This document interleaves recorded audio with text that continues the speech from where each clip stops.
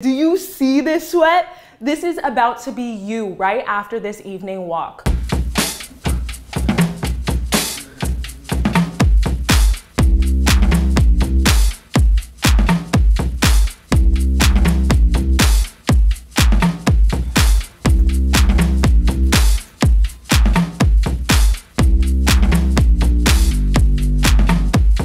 Struggle with feeling bloated or overfilled after your dinner, something that I've been incorporating lately is a quick workout in the evenings just so that I can boost my metabolism, burn fat while I'm sleeping, and so that I'm in the mindset at night like, okay, I'm working towards my health, I'm working towards my goals. I also have to say, if evening workouts aren't for you, it's okay. The main thing we wanna focus on is making sure that we set a routine. So if mornings are a better time for you to work out and you're just not able to do it at night, that's okay. Do this workout in the mornings. Our focus is on consistency, not necessarily just the time of the day. But if you're a mom like me, once the baby gets to bed, I'm ready to put in some work. So I hope that's you too, and we can do it together and see results together. This workout is divided into four parts. If it feels a little bit easy or a little bit beginner right at the very beginning, that's because we wanna ease our way into it, get our body moving, especially to help aid in digestion. So we're gonna slowly work our way into it with full body moves. Then we're gonna go into some ab moves. This is gonna help bring more blood flow to our abdomen and that's gonna help with digestion so you're more effectively digesting and you're burning fat. The third part is going to be arms. We're gonna be working on toning up our arms with some simple movements and again, none of these exercises require weights, everything is body weight. The fourth part, we're gonna be turning it up with our legs. Finally, we're gonna end this workout with a burn out. There's two exercises we're gonna do to burn out get that extra boost, and girl, you're gonna feel amazing after. If you need help with nutrition, if your dinners are maybe something that you struggle with, then make sure to download my app. You're gonna get it seven days for free. It creates a customized diet for you, gives you body weight strength workouts as well to add to these cardio workouts that you see on YouTube with me. And you're gonna also be able to integrate it with your Apple Watch if you have one. We just released this feature and I'm really excited about it because you get instant feedback from your Apple Watch watch telling you how much effort you're putting in, how many calories you're burning, all of that. So make sure you download it right now or right after you watch this video. So hit that like button right now if you're not already part of the family. You're more than welcome to join. Hit that subscribe button. I think that's enough talking. Let's get moving.